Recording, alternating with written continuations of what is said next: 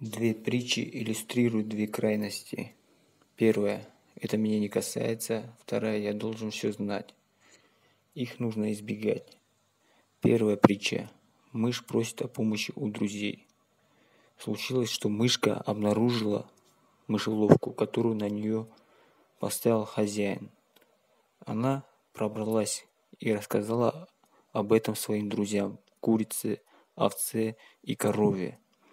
Но все они отвечали, мышеловка – это твои проблемы, нас это не касается. Чуть позже в мышеловку попалась змея и укусила жену фермера. Пытаясь ее извлечь, жене приготовили суп из курицы. Потом зарезали овцу, чтобы накормить всех, кто приехал навестить больную. И, наконец, закололи корову, чтобы достойно накормить гостей на похоронах. И все это время мышь наблюдала за происходящим через дырочку в стене и думала о вещах, которые никого не касаются, кроме нее. Вторая притча, как баран решил спасти коня. На ферме заболел конь, хозяин вызвал ветеринара. Он осмотрел и сказал, если утром конь не встанет, придется его убить. Этот разговор слышал баран. Он прибежал к больному коню и говорит, друг мой, парнокопытный.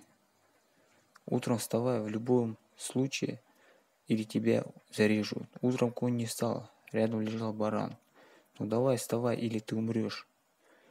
Конь долго хрипел, плевался пеной, но к приходу хозяина он собрал все свои силы и встал в своем стойле и весело заржал при виде хозяина. Фермер обрадовался, это чудо, это надо отпраздновать и по такому случаю зарезал барана. Мораль – не совать нос в чужие дела и не забывать про мышку с мышеловкой.